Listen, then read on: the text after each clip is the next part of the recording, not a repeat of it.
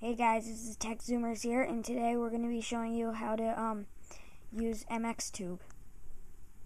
That's a really cool Cydia application. Um, lets you download YouTube videos so you can watch them when you don't have internet.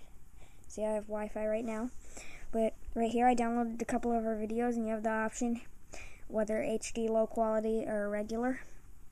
And so here we'll just how to get free music. So then Hello everybody, this here it is is. And now just let me take the Wi-Fi off. Also, if you're not jailbroken, guys, it's on the App Store as um, my dash tube, my tube, instead of MX tube, such as on Cydia. So, yeah. okay, guys, now you can see my iPod Touch is not on Wi-Fi anymore. So now I have downloaded all these videos, these Tech Zoomers videos. So now I'll go back to this.